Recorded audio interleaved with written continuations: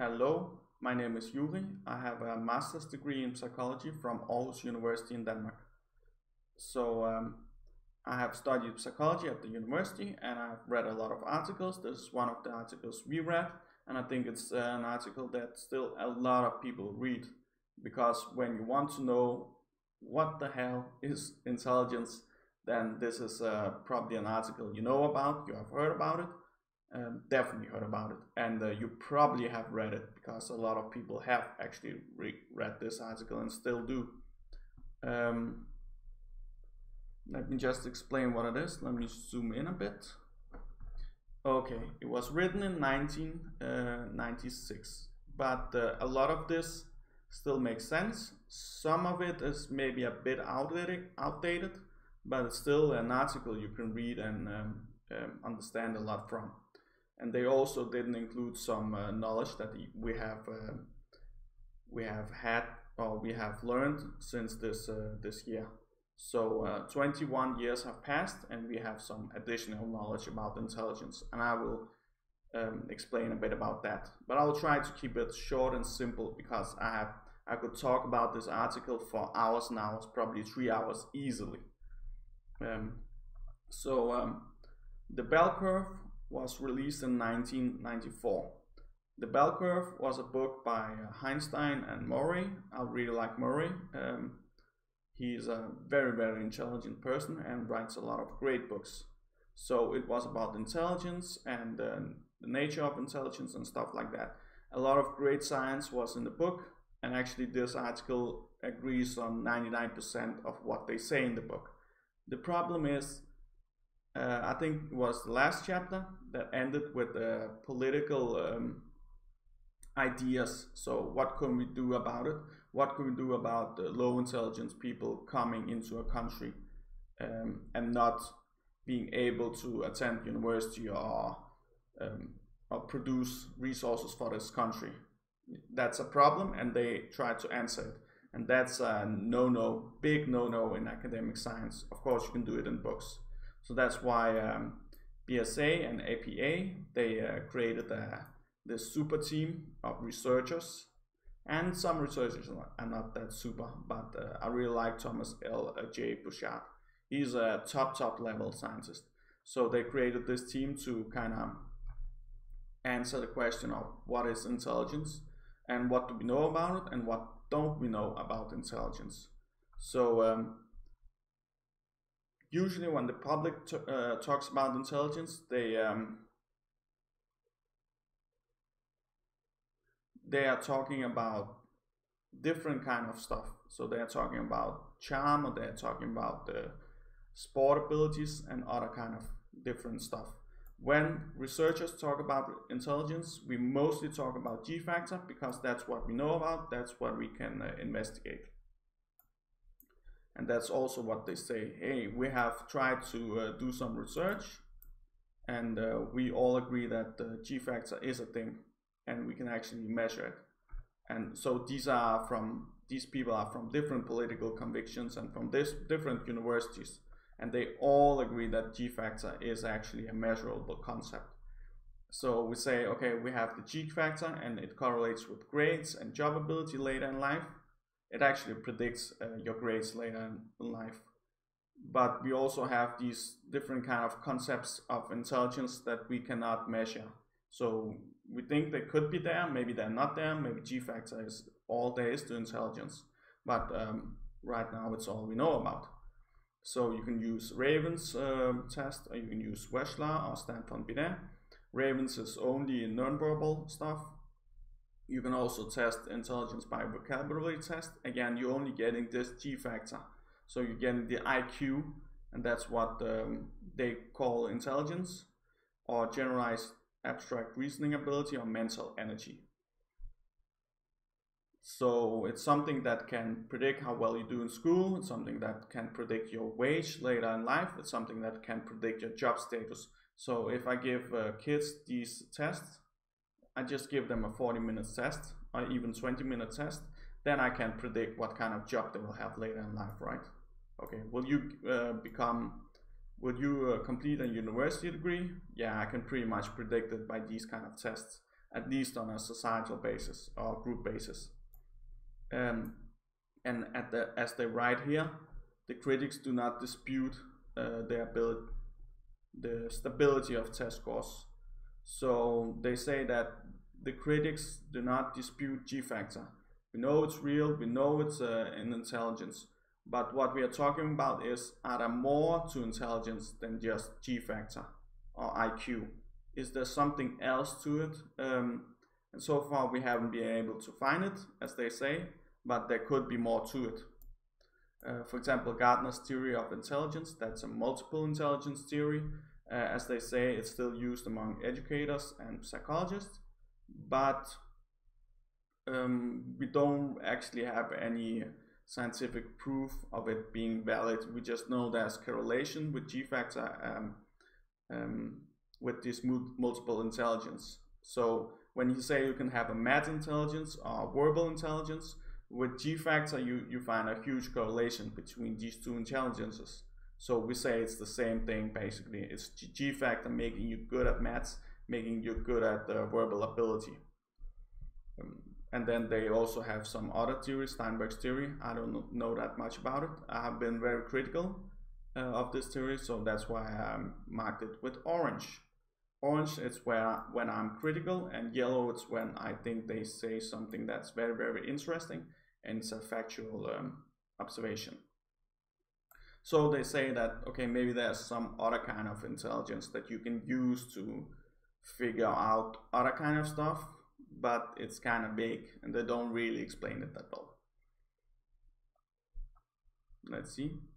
Oh, they also tried to uh, use this article to kind of disprove um, the bell curve's assumption that different races with different intelligences. Uh, so, for example, black people and white people have different kind of intelligences because of uh, heritability or genes. They say it could be something else, but they at the end they conclude that okay we don't know actually where these effects are coming from so they're trying to disprove this concept of racial differences in intelligence um, but they don't quite achieve it and you can see that they don't quite use um, good science to disprove the concept of uh, heritability in racial intelligence they also say something about, uh, for example, you can measure intelligence by if kids can compare how much water is in a glass and I pour it in another glass. If there's the same amount of water, can I see that or can I not see that? Uh, the better you're able to see that, the, the better you, the higher your IQ is. So uh, stuff like that. And also uh, they explain Vygotsky's theory. Again, this is not a scientific concept, but I say a lot of scientists are still um, using this uh, Vygotsky theory. So a lot of scientists, or at least some uh, philosophers, are still using these kind of old concepts, uh, but we have not no proof of them being true or not.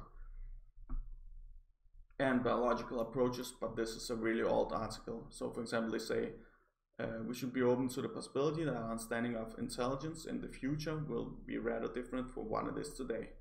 Uh, 21 years have passed and we have exactly the same understanding of intelligence. Uh, but today we have more proof and more uh, biological, genetical proof. We have a lot more scientific studies and data that supports all these concepts that uh, of G factor. The G factor actually does predict school grades and predict your job status later in life. And here they uh, shortly describe what R is. So R0 is 0%, R1 is um, is 100%. They, yeah, they you, you need to read this yourself to understand it. Um, stability of intelligence. Okay, all these scientists agree that intelligence is a very stable trait, but in childhood it's not that stable. So in childhood you can influence intelligence one way or the other, right? At least you can if you um, if you collect a group of very young people like let's say they're six years old then you can train them very very hard and their intelligence will rise for a bit like let's say five iq points. But then in uh, two years time their intelligence will fall again to the median level. So uh, you cannot improve intelligence long term, but you can improve it very, very short term in childhood. So um, that's why when you look at intelligence studies, you need to look at the age of the individuals because if you read an intelligence study if, and it's uh, 13 year old individuals, then you know that okay, intelligence is not um, fully stable yet, and there can be some environmental effects on it. But when you're an adult, then it's uh, mostly heritable or just random uh, effects. So uh, you cannot influence intelligence one way or the other on purpose with ad uh, on adults.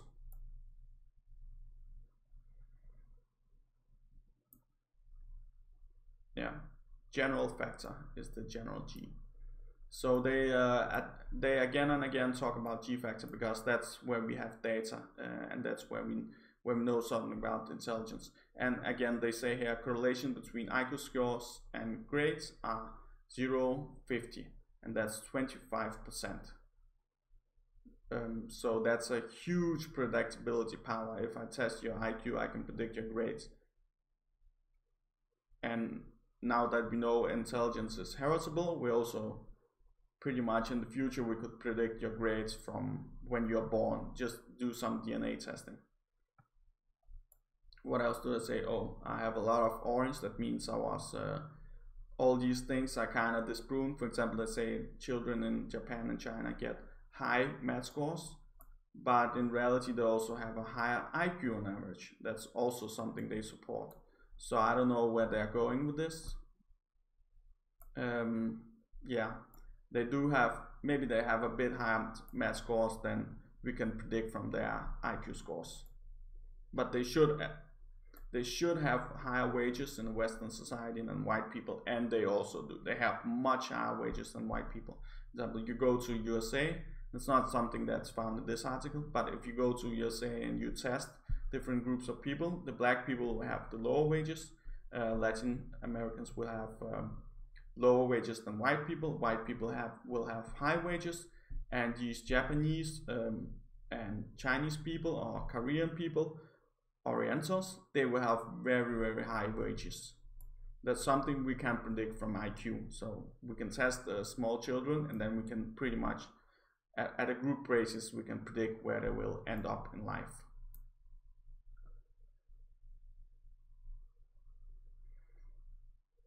And total years of education, again, IQ can predict total years of education, and that's 30% outcome variance. So that's a huge predictability power in the in psychology studies. Usually we find very, very small percentage. So uh, test scores are the best single predictors of individuals' years of education. They kind of try to disprove it a bit, but with philosophy, but at least they end up saying something that's true. So I like that.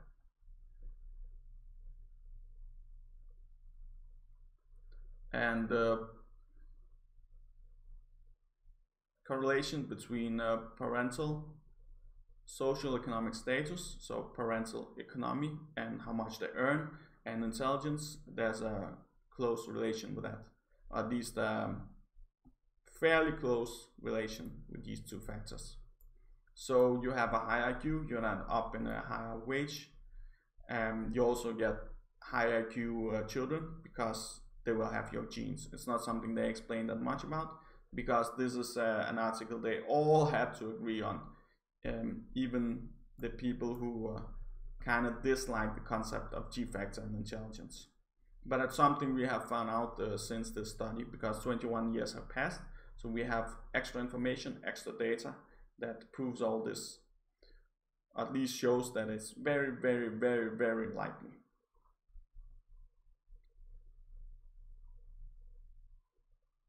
Hmm. But social status, yes, also correlates with IQ. Oh yeah, if you have the same family with the same father, the high IQ brother will uh, end up with higher grades and a higher income and the low IQ brother will end up with a lower wage and a and a and also lower grades. That's also an effect we have found. And they also, they, I can see that it's written by a lot of different people because all this um, orange stuff, it's pretty much without any sources, but it's also it's always adding stuff like we should always look at the environmental effect. The environmental effect could have a say. So it's also always could, could, could, maybe, possibly. Again, job performance, of course, if you have a high IQ, on average, you will uh, have much higher job performance. As you see here, 29% variance of job performance. And that's for, for all the jobs they tested. Um, so it, there can be a difference between what job you do. For example, if you just move stuff around, then maybe um, a high IQ will not make you that much more effective. But if you use computers, if you are using your intelligence to calculate different stuff, then of course there's a relation between uh, your IQ that you're born with and your job performance will be much, much higher. And this always on groups basis, not individual basis that's something also that we, we kind of know, but it's not something they write that much about. They just say, okay, there's a relationship. Uh, we just know it's there. Um, yeah, intelligence and crime, of course, negatively correlated. So if you're more intelligent, um, you have less possibility of doing crime. But the correlation is not huge. Again, it's group basis oh, this is actually very interesting because besides, you know, you're probably taking an intelligence test, right, online when you kind of have to answer, okay, what figure comes next in line. Or you can even take a verbal test or word test, stuff like that. But you can also take a reaction time test. Did you know that? You're gonna have a machine where you push a button. So a button lines up and you have to kind of be as fast as possible and click the right button and that correlates with intelligence. You can read about it here. It's um, yeah, it's super super simple test, and the reaction time is uh, highly highly correlated with your IQ. Also, you can have inspection time. For example, you see two vertical lines on a screen, and the less time you need to look at it, and then know what line is longer, the high IQ you have. So if if people need a lot of time to differentiate between the lines, then they have a lower IQ. That again correlates with G factor, and that's the G factor is uh, the factor that makes you intelligent in in all kind of fields, verbal intelligence, maths, stuff like that. Yeah, that's super interesting. let's see neural efficiency of the brain. That's also a great description of g-factor. It's something that makes you think faster something that makes you solve problem faster something that also makes you able to solve more complicated problems in your brain. But that's as close as we can come to a description of intelligence. Genes and intelligence of course we know a lot more about it uh, right now today that's also something I've also explained before, that we have so many new studies on intelligence that we can, for example, since this article came out, we also know that high IQ also uh, correlates very highly with uh, higher mental health so and higher physical health. So higher IQ individuals will be more healthier physically and uh, mentally that's also something we have uh, discovered since then, but it's something they kind of should have known back then too. Oh yeah, vocab vocabulary size, so the size of the words you know, the amount of words you know, it's also highly correlated with intelligence. Again, it's something you learn, right? So it's something that comes from outside, but it's also something that you learn. It's not something that's forced on you. You learn the words you know, and they are highly correlated with intelligence. So that's what we also can predict with intelligence. If we test two parents and they have a high intelligence, then we can predict that that child will probably learn a lot of words, even if they never see the child, even if they just um, adopt the child to to a village in Russia, China, and stuff like that. Even then, it has predictability power. But we still don't know um, how the genes combine together to form an intelligent brain. and something we need to study a lot closer. And certainly something, uh, something they didn't know back then. We don't even know about it today. Uh, again, monozygotic twins and diazygotic twins. And adoption studies, as I said, um, you can have twins from different races. You can have twins with different kind of intelligence of parents. And what we find from these kind of studies is that um, if intelligence if intelligent parents have a child that child will be intelligent. It doesn't matter where he grows up. So it doesn't matter if he grows up at home or not. And if uh, low intelligent parents have a child and he is uh, adopted by very high intelligent parents, then he will have a low intelligence. So these parents will have minimal amount of influence on the child, no matter where they are or how they are.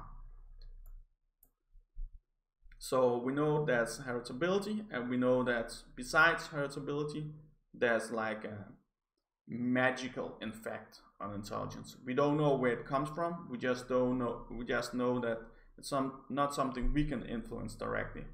It comes from the air. And um, as they say in this article too, that the family influence is very, very low on negligent, so it's nearly non-existent. Mm, yes. Oh yeah, that's what I say. Older persons are in a better position to select their own effective environments a form of genotype environment eh, correlation. Again, you grow older, you're better at selecting your environment, right? You're better at selecting what you need to learn and what you can learn. And that's why when, when you grow older, um, your adoptive parents' intelligence and your intelligence will not correlate at all. But when you're a small child, like six years old, then there will be a correlation between your adoptive parents and you're intelligent.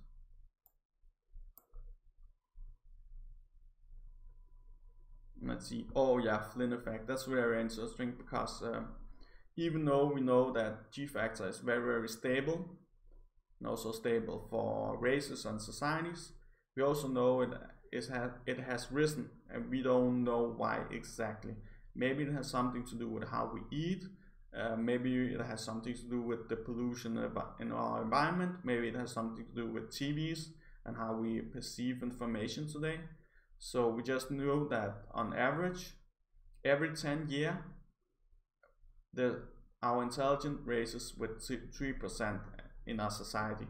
So for example, if you measure Danish people in the 80s and then in the 90s, then the average intelligence will have risen uh, three IQ points. So that's um, something we call IQ, uh, Flynn effect, something we have known about for a very long time, also before Flynn. But he um, he wrote some books about it too and made it uh, more popular.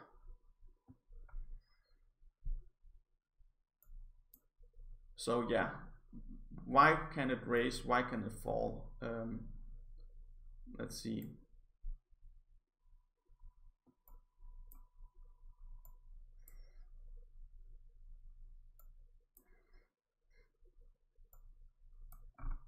let's see do we have it somewhere here? Oh yeah they also say that head start programs uh, for example you have a head start program in usa i think they spent like half a trillion uh, dollars on it so far. It has not worked. It has not at least it has not improved intelligence. Maybe it can improve some other stuff but it cannot improve your intelligence. Only in the short run. So programs can work in the short run when you're a child, but then they have no uh, effect on intelligence. And your intelligence will always fall or raise to your to your regular uh, biological level.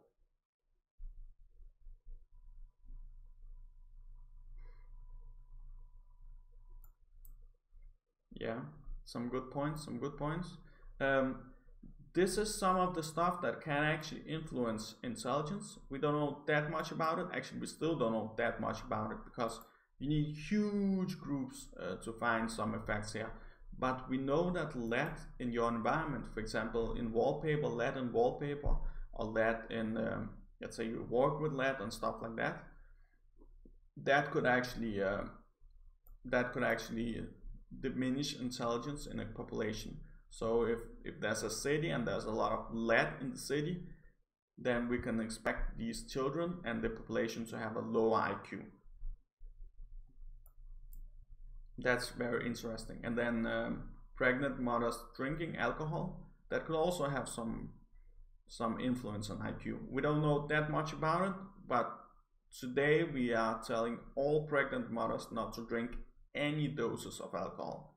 Just avoid it altogether because even these minuscule effects we have found is something that um, you should really really try to avoid even these lead effects just avoid lead altogether. Don't even like uh, don't put it in wallpapers because it's something that could have an influence. We're pretty sure it does have some influence.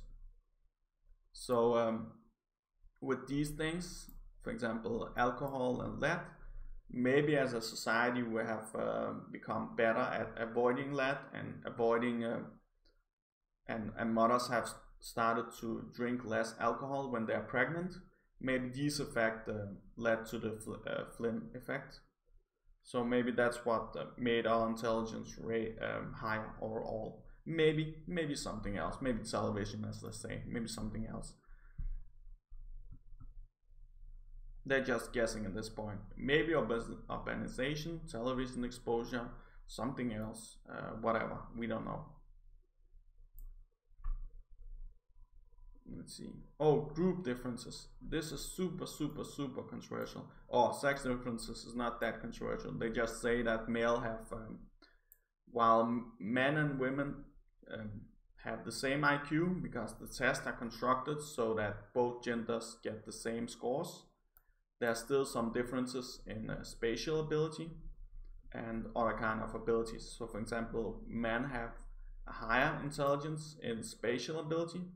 They perform be much better on spatial tasks on average. So that's something you do to track uh, a moving object or move through space or track the moving object through space and stuff like that.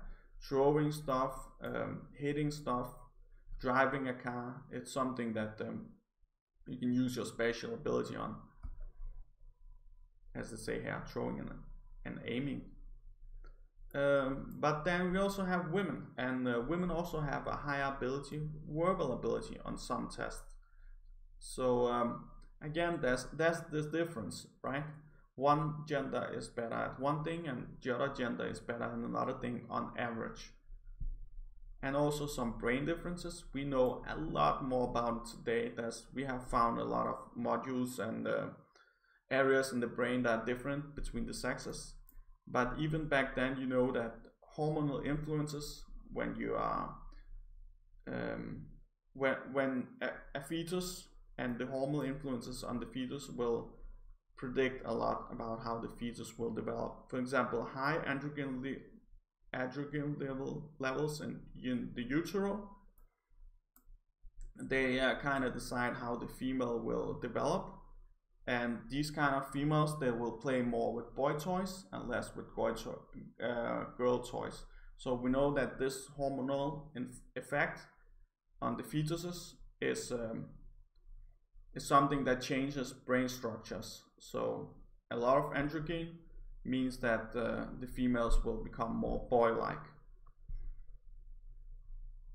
We know a lot more about today, and also um, testosterone levels uh, correlate positively with the spatial ability, and negativity negativity uh, um, negatively with verbal some verbal abilities.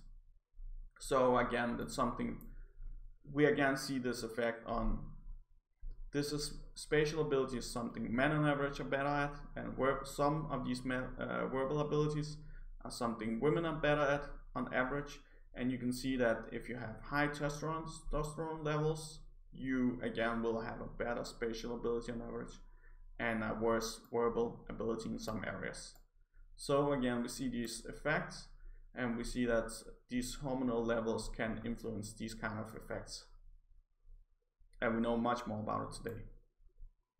This is the controversial uh, chapter because this is about racial differences. Uh, for example, Lynn says that the mean intelligence of the Japanese is 111. That's much higher than the white, right? Because the white people have an intelligence of about 100 and um, but Flynn says that the intelligence is between 101 and 105 so still higher than white people but not as high as some other scientists uh, predict you just need to test huge groups to get the, the real result. And I think most results are about 105 a bit over 107 maybe in some cases. And also they uh, they say that maybe uh, Japanese and Chinese, or at least they uh, they seem to have higher spatial ability, so that could that could play a role in their higher math level. So they have a higher math level compared to white people, but even higher math level that we can predict from IQ alone. So that could be because they have a better spatial ability too. I don't know. Could be, right? Uh, again, they say here that mental scores of Hispanics lie between blacks and whites. Maybe Latin Americans was the wrong word, but whatever. It's called Hispanics in this article. Uh, black people, let's say what they say this. Oh yeah, black people have a mean intelligence as one standard deviation that means 15 points below the whites.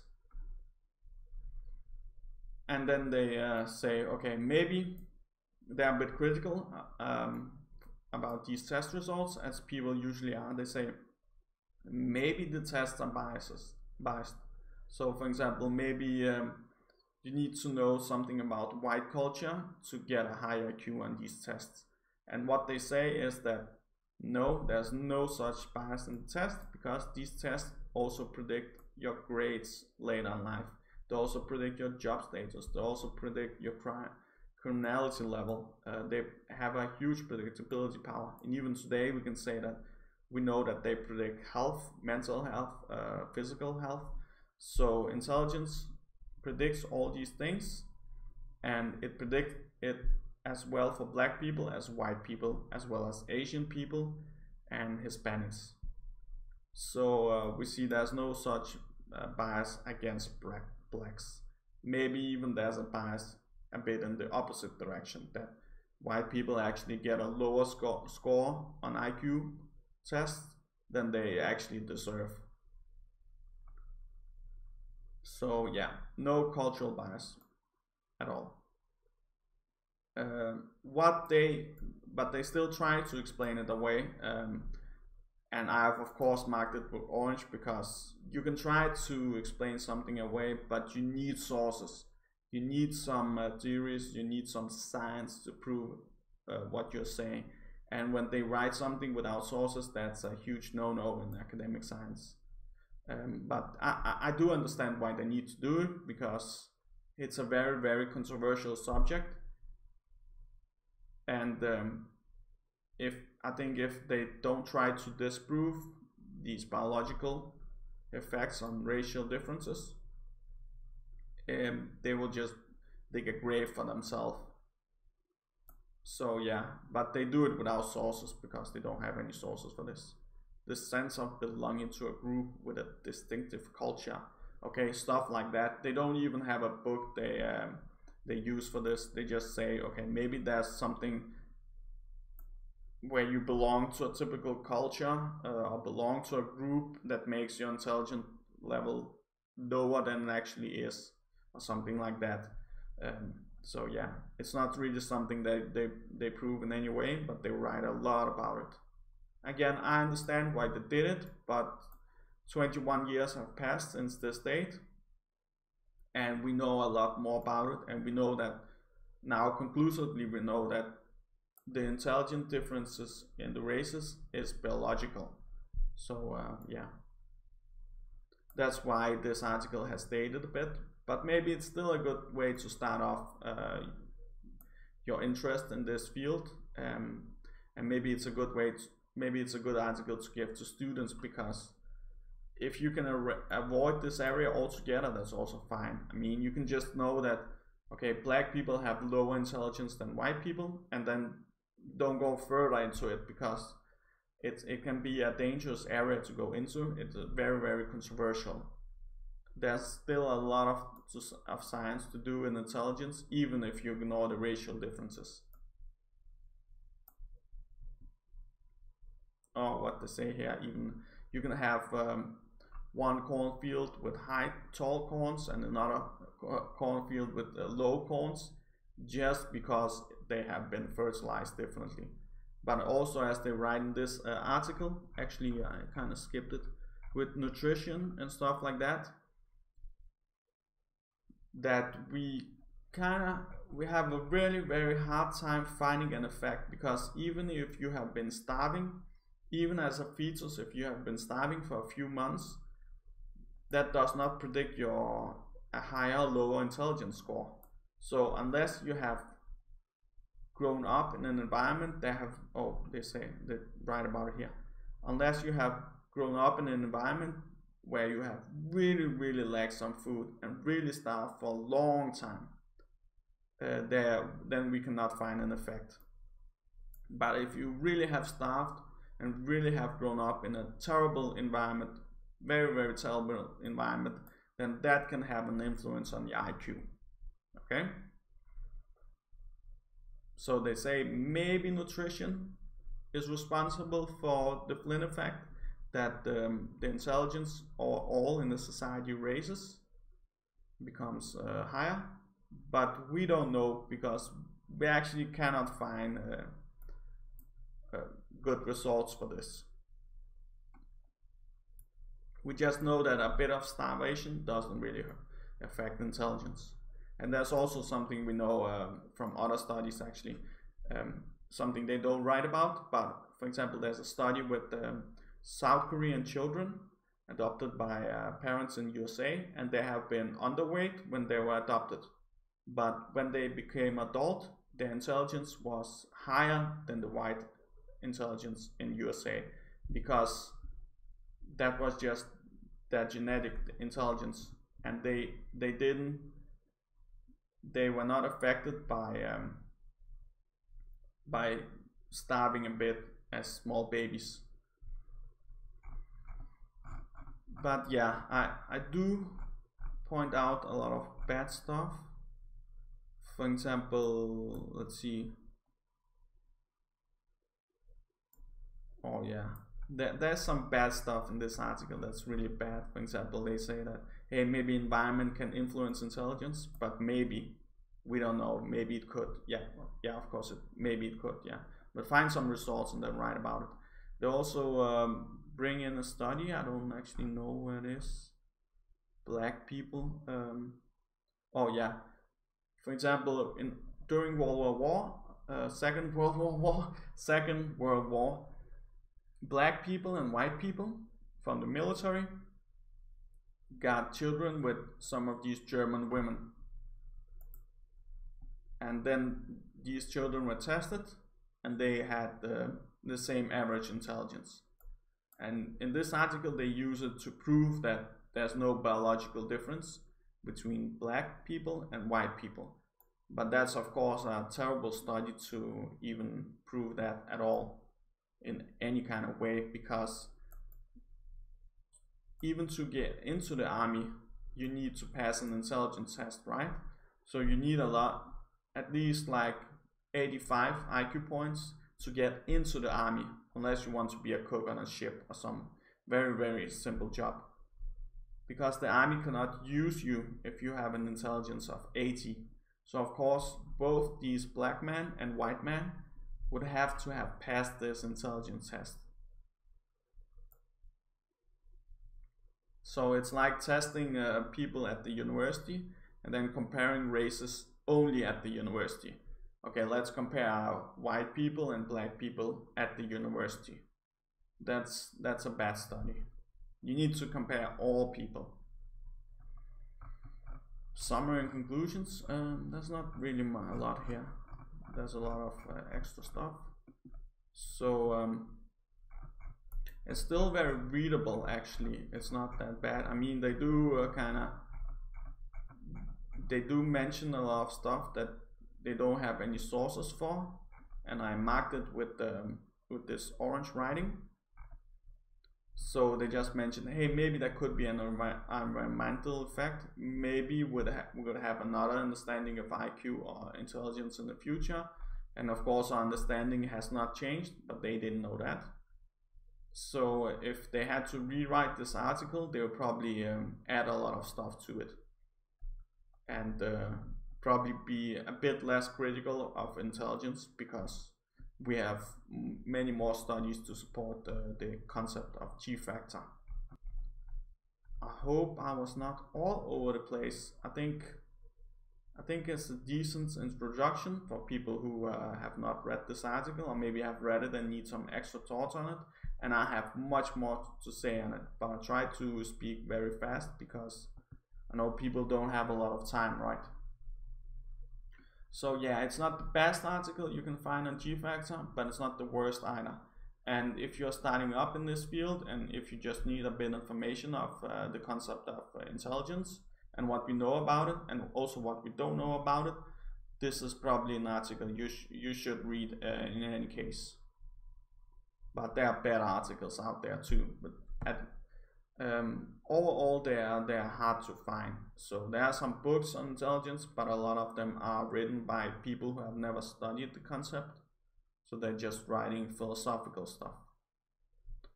So yeah read it but be critical